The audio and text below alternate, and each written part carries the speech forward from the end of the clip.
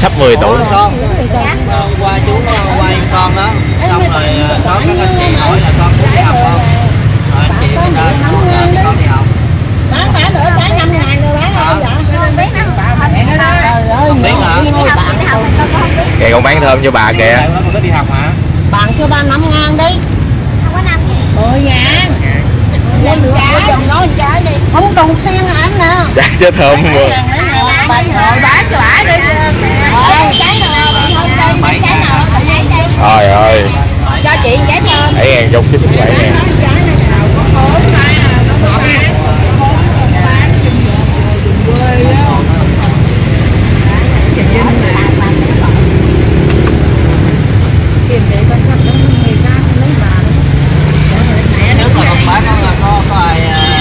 người uh, để dính không nghiệp ngồi đây luôn. Ở chạy mắt chồng không có làm gì đâu. cái ba như con bỏ vô cha.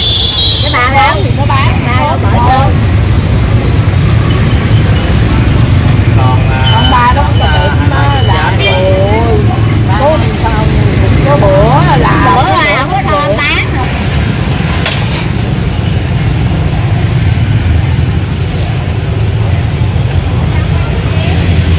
chú con lấy cho chú hai trái nha là ngày nào mình cũng bán được trăm trái hơn á con? Ờ, thôi giờ con lấy cho chú hai trái đi. Chút chú lấy. Nè tiền nè. Cầm đi con cầm đi. Bây giờ là chú cho con 80 ngàn luôn.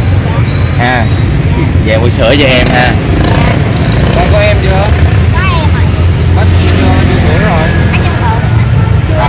à chưa đẻ hả? Là em này là của của ba mới đúng không. Kìa bán bán cho cô kìa con. Quả cho cô lại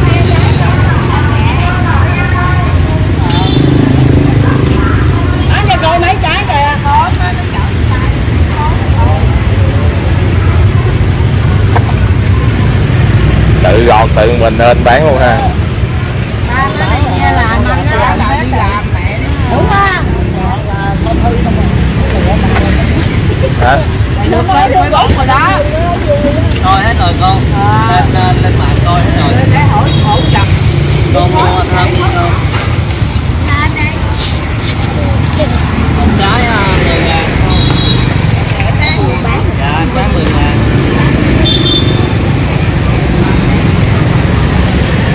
Con trả giá không? Con có bán không?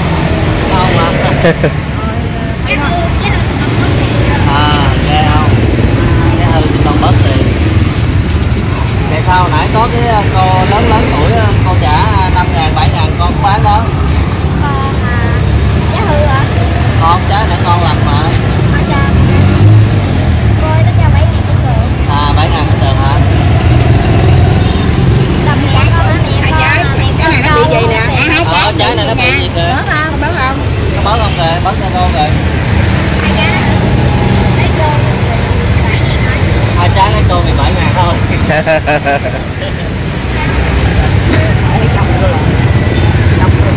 Ở đây chẳng có ủa tại sao mà hôm, hôm bữa chú quay rồi à, chú mua nhưng mà con lại tặng cho chú không có tiền là sao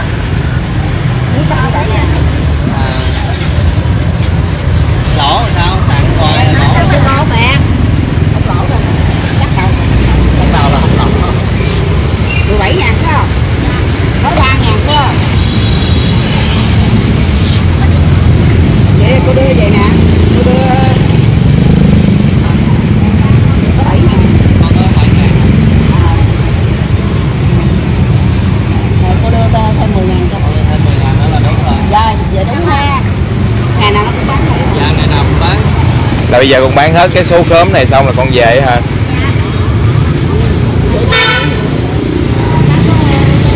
Hôm bữa có, có lúc bán là 6 trái lúc bán trăm trái nó vô chừng á nó không có ổn định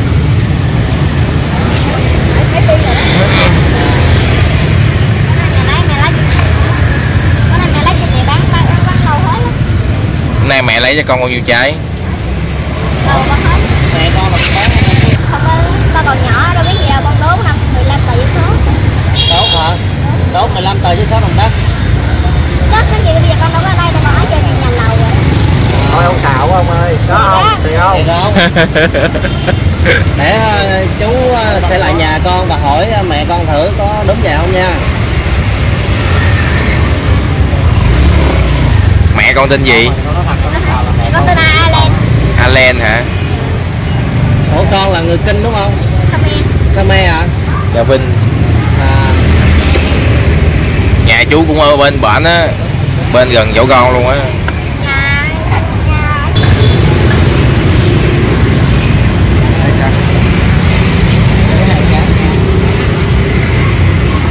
Con cắp tiền đàng hoàng để gió thổi cái là ba lắm nhiêu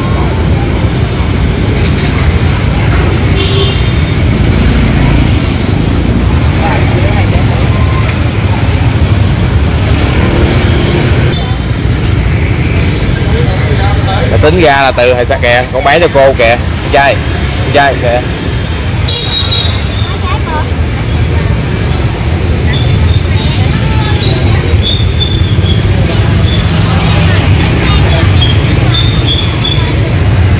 Kìa. Hai hai trái chưa gọt cho cô.